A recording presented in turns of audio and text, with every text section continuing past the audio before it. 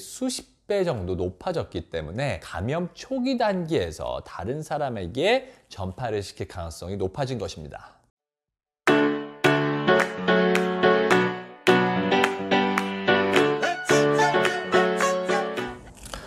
안녕하세요. 피부과 전문의 심해철입니다.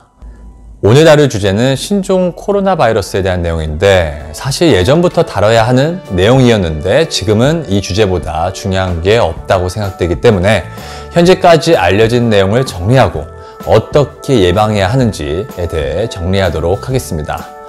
감염내과 전문의는 아니지만 의사의 한 사람으로서 현재 상태를 간과할 수 없어서 현재까지의 이 신종 코로나 바이러스의 의학적인 내용과 예방 방법을 이해하기 쉽게 정리하였습니다.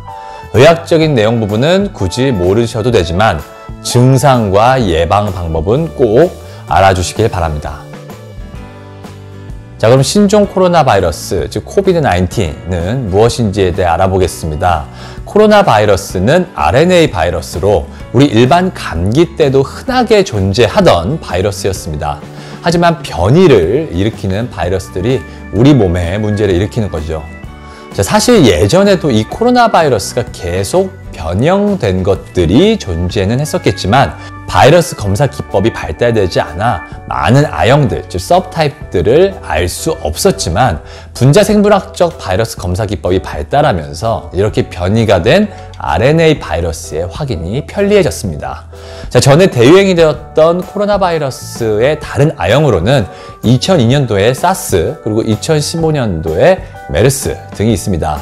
자, 중국 우한에서 처음 발견이 되어서 지금 전 세계에 퍼진 이 코로나 바이러스는 사스나 메르세 때의 대유행의 경험을 보았을 때 국제 바이러스 분류학 위원회에서는 앞으로 주기적으로 발생될 수 있는 이러한 코로나 바이러스의 명칭을 통일하기 위해 2019년 신종 코로나 바이러스 호흡기 감염증에서 2019년 코로나 바이러스 감염증, 즉 코비드 19으로 부르게 되었습니다. 자, 코로나 바이러스는 인체 감염을 일으키는 RNA 바이러스들 중 크기가 가장 큽니다. 자, 단일 가닥의 RNA로 되어 있고 크기는 120에서 140 나노미터의 크기를 보입니다. 자, 모양을 보면 돌기가 이렇게 붙어 있는데 바이러스의 인지질 껍질에 스파이크 형태의 단백질이 붙어 있는데 이것이 변이를 일으키며 굉장히 중요한 문제를 일으키고 있습니다. 자, 이것은 뒤에서 다시 언급하겠습니다.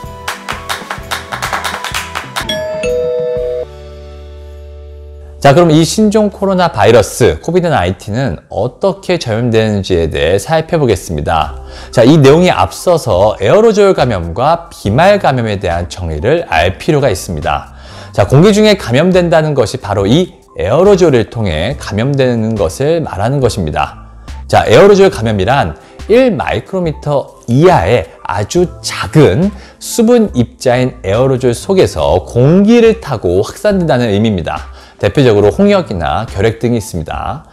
비말 감염이란 감염자의 침, 콧물 등 체액이 기침 등으로 튀어나와 다른 사람의 입이나 이제 코로 들어가 감염이 이루어지는 것을 말합니다. 자, 비말은 에어로졸처럼 공기 중에 날아다니는 아주 작은 수분 입자가 아니라 말 그대로 옆으로 튀어서 흩어지는 물이라고 보시면 됩니다. 보통의 비말 크기는 5 마이크로미터 이상으로 한 번 기침에 약 3,000개의 비말이 2미터 이내로 분사되는 것으로 알려져 있고 이후에 사멸하게 됩니다. 자, 이 코로나 바이러스는 다른 인플루엔자 바이러스와 비교할 때 큰 크기와 스파이크처럼 박혀 있는 단백질이 특징으로 비말 감염을 통해 코나 입으로의 구강 감염에서 시작되는 경우가 대부분입니다. 자, 현재까지는 이 비말 감염이 대부분으로 알려져 있고 계속 연구가 되고 있긴 하지만 현재까지는 공기 중 감염, 즉 에어로졸 감염의 가능성이 희박하다라고 알려져 있습니다. 자, 코로나 바이러스의 스파이크처럼 생긴 단백질이 이 구강과 폐의 점액 부분에 흡착이 되게 되는데 이 신종 코로나 코로나 19의 경우에는 자 스파이크의 변이가 일어나고 점액 친화력이 이전 코로나에 비해 수십 배 정도 높아졌기 때문에 점액에 달라붙기도 잘 달라붙고 또 변이가 일어나 우리 몸의 면역으로도 이 바이러스를 잘 씻어내지 못하기 때문입니다. 자, 이런 특징 때문에 소량의 바이러스가 비말을 통해서 사람의 점에게 닿으면 호흡기 상피에 감염이 될 확률이 높아지고 그래서 초기부터 증식을 활발하게 일어나는 특징을 가지게 되었습니다. 자, 그래서 여타 다른 바이러스에 비해 감염 초기 단계에서 다른 사람에게 전파를 시킬 가능성이 높아진 것입니다. 자, 그럼 신종 코로나 바이러스 코비드 19의 증상에 대해 알아보겠습니다. 이 코로나 바이러스 19 또 다른 감기 바이러스와 아주 다른 임상적 특징은 없습니다. 하지만 앞에서 말한 이 코로나 바이러스의 첫 번째 크기와 두 번째, 점액의 흡착이 높은 스파이크 때문에 감염의 경로로 인한 증상의 특징을 나타나게 됩니다. 일단 크기 때문에 현재까지는 주로 비말을 통한 입으로의 감염의 시작이 대부분입니다.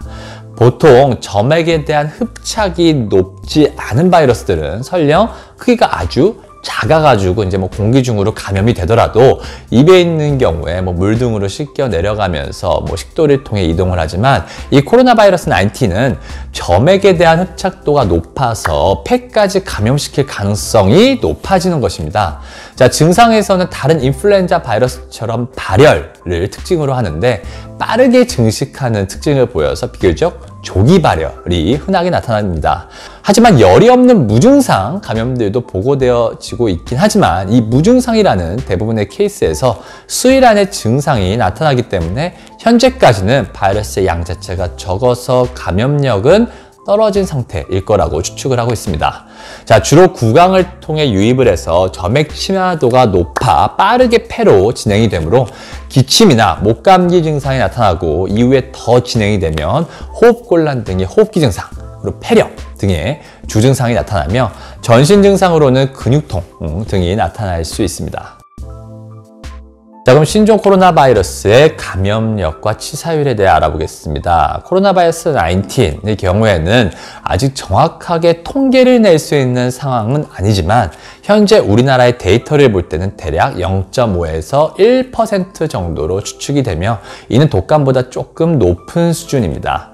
자, 사스의 경우에 사망률이 7에서 8%, 메르스의 경우에는 36% 정도였던 것을 보면 아주 낮은 치사율입니다. 하지만 절대 방심하면 안 되는 이유가 이는 음압병상이나 치료가 적극적으로 이루어진 상태의 경우이므로 수치만 보고 안심하면 절대 안 됩니다.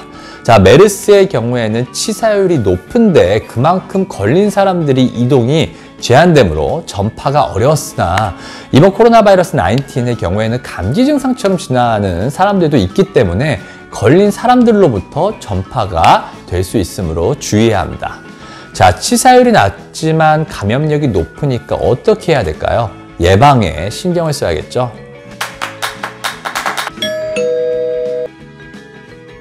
자, 그러면 신종 코로나 바이러스의 예방법이 무엇인지에 대해 알아보겠습니다. 자, 이런 바이러스는 치료보다 사실 예방이 정말 중요합니다. 자, 첫 번째 경우에는 마스크 쓰기입니다. 자, 일단 현재 마스크 공급이 어려운 현실이 너무 안타깝습니다. 빨리 국내부터 마스크가 좀 공급이 되고 특정 지점에 유포되어서 아침부터 뭐 줄 서면서 기다리다가 오히려 뭐 바이러스에 감염되는 일이 없게 뭐 동사무소 등을 통해 뭐 예를 들자면 세대마다 전달이 될 수 있는 체계를 좀 만드는 것이 좋을 것 같습니다. 자, 본론으로 넘어와서 일단 기본적인 것은 비발 감염이기 때문에 마스크 착용이 중요합니다. 자, 그럼 마스크 종류에 대해 살펴보겠습니다. 마스크가 면 마스크, 뭐 덴탈 마스크, 필터 마스크 등이 있는데 필터 마스크에는 KF80, KF94, N95 등을 아마 뭐 들어보셨을 것입니다. 자, 첫 번째, 일단 면 마스크, 뭐 패션 목적으로 쓰는 마스크 등은 사실 이러한 비말 감염을 충분히 막을 수는 없습니다. 안 쓰는 것보다는 낫지만 그래도 마스크의 종류 중에서 이러한 종류는 제일 마지막으로 생각하세요. 자, 두 번째, 덴탈 마스크나 수술용 마스크는 코로나 바이러스 등의 비말 감염을 통한 전파에서는 N95 같은 필터 마스크에 비해 뭐 자마에 실린 논문들에 의하면 통계학적으로 유의한 차이를 보이지는 않았습니다. 하지만 이는 물론 비말 감염이라는 전제 조건 하에 있기 때문에 에어로졸, 아까 말한 공기 중에 감염이 있을 수 있는 상황에서는 충분하지 않지만 일반인들이 현재 취할 수 있는 마스크로는 비말 감염의 예방에 도움이 됩니다. 자, 세 번째는 필터 마스크 KF80이나 KF94 엔고라는 마스크를 가장 많이 들으셨을 것입니다. 지금 이러한 필터 마스크들이 품절 대란에 있는 것입니다. 자, KF80의 경우에는 600 나노미터 크기를 80% 차단합니다. KF94의 경우에는 400 나노미터의 크기를 94% 차단합니다. N9의 경우에는 300 나노미터 크기를 95% 차단합니다. 근데 아까 코로나 바이러스의 크기가 몇이라고 했죠? 120에서 140 나노미터 정도라고 했죠. 바이러스가 더 작습니다. 사실 바이러스의 입자 자체가 뚫고 들어온다면 이 N95 마스크도 뚫고 들어올 수 있겠죠. 바이러스 자체보다는 비말 감염, 즉 침방울들이 나오는 것을 막는 것이 중요합니다. 또한 KF80에서 KF94, N95로 갈수록 숨 쉬는 것이 답답해서 장시간 착용이 어려우므로 자꾸 이제 벗어놓게 되는데 이것이 오히려 비말 감염을 일으킬 수 있으므로 일반인들의 경우에는 KF80 정도로 충분하고 비말 감염을 막는다는 의미에서는 덴탈 마스크, 위생용 마스크도 도움이 됩니다. 하지만 TV에서 보이는 의사들이 우주선복 같은 것을 입는 이유는 이러한 코로나 바이러스도 에어로졸이 발생하는 경우들도 있는데 뭐 예를 들자면 시술로서는 뭐 기관삽관, 기관절개술, 뭐 심폐소생술, 기관지 내시경 등등의 경우에서는 에어로졸 등이 발생을 할 수가 있으므로 이러한 시술들 할 때는 N9나 K94 같은 마스크를 착용할 것을 권고하고 있습니다. 즉 의심 증상자나 검사를 진행하는 등의 사람들에게서 접촉하는 특수한 상황 그리고 의심 환자를 다루는 의료진 들은 KF94 착용이 필요하고 일반 분들의 예방 차원에서는 비말 감염을 예방하는 정도의 마스크 착용도 괜찮은데 문제는 마스크를 쓰는 방법입니다. 자, 그럼 마스크를 쓰는 방법은 일단은 그냥 거의 걸쳐놓는 분들이 계신데 코 부분을 누르고 꼼꼼히 차단되게 하는 것이 중요합니다. 그렇기 때문에 예방 차원에서는 하시는 분들은 필터가 너무 높아가지고 막 답답해서 벗지 않도록 오랜 시간 착용해도 수월한 것으로 코까지 좀 꼼꼼한 차단이 중요합니다. 자, 두 번째는 손 닦기입니다. 코로나 바이러스의 경우에는 손을 통한 분비물의 접촉이 더 중요합니다. 많은 사람들이 접촉하는 손잡이들은 되도록 손으로 잡지 마시고 손으로 얼굴을 자꾸 만지지 마세요. 코로나 바이러스 19의 경우에는 테두리가 인지질로 되어 있는 바이러스이므로 특별한 손 소독제를 사용하지 않아도 계면활성제인 비누만으로도 충분히 제거가 될 수 있습니다. 그러므로 손을 자주 씻어주는 것이 중요합니다. 하지만 그리고 공공화장실에 손이 많이 닿는 손잡이를 또 닿는 것은 좋지 않겠죠? 자, 지금까지 코로나 바이러스 19, 즉 COVID 19이 무엇인지 전염 방식, 증상, 감염력과 치사율, 예방법에 대해 알아봤습니다. 코로나 바이러스의 감염을 이해하고 예방해서 하루빨리 종식시키도록 합시다. 연세더세 피부과 원장 심현철이었습니다. 감사합니다.